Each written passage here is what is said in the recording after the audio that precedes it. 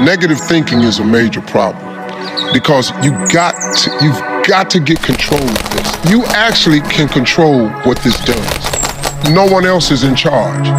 If the devil is in charge, it's because you gave him permission. You allowed him in. If God is operating up there, it's because you gave him permission. You allowed him in.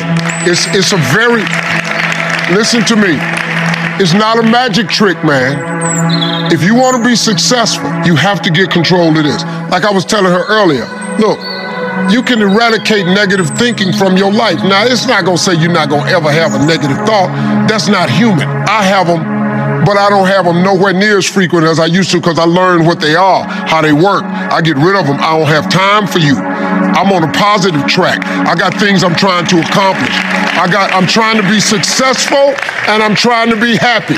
If you're trying to be successful or happy, you have no room for negativity.